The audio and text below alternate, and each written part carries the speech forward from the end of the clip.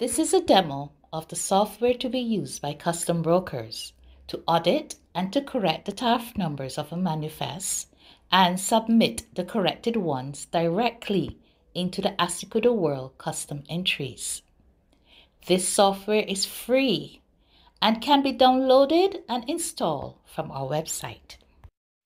To open a worksheet, click this button once. Open TARF Transfer Worksheet. The manifest worksheets are directly connected to our web server and opens up automatically.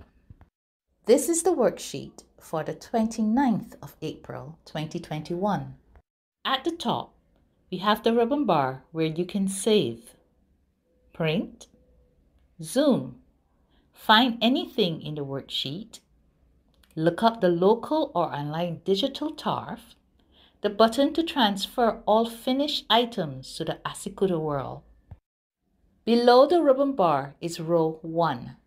This contains the company number and the manifest TARF period for the worksheet. Underneath these are the columns which represent all entries in the Asycuda world.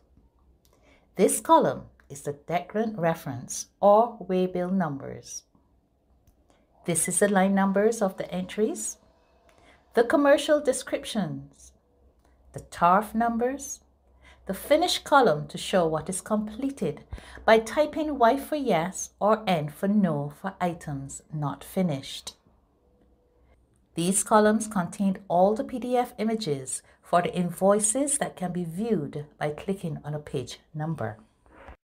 Before changing a TARF number, first view the invoice by clicking on the page number.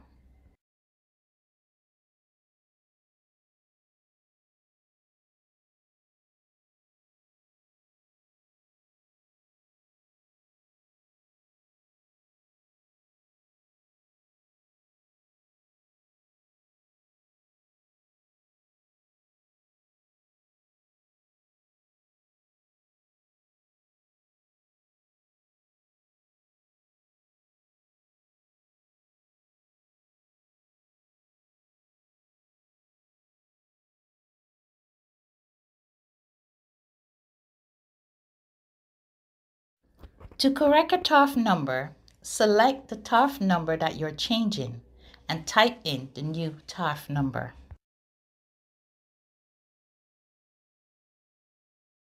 Type Y for yes to show the line is finished. To select all as finish, click the Select All Finish button.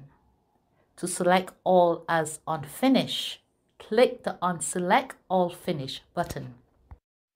After you finish correcting all the non-document TARF numbers, click the button Transfer TARFs to Asycuda World. This will transfer all items labeled Y for Yes to the Asycuda World.